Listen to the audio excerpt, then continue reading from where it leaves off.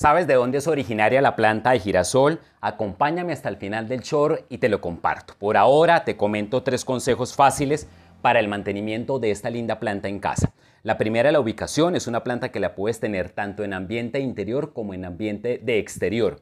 Si la tienes en ambiente interior, fundamental que sea un ambiente de máxima claridad. No le va bien a la planta ni en sombra ni en penumbra. En segundo lugar, la planta tiene mejor desempeño a partir de los 20 grados centígrados.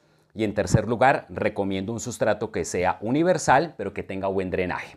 Ahora sí, la respuesta, el origen de la planta de girasol es originaria de México y el sur de los Estados Unidos.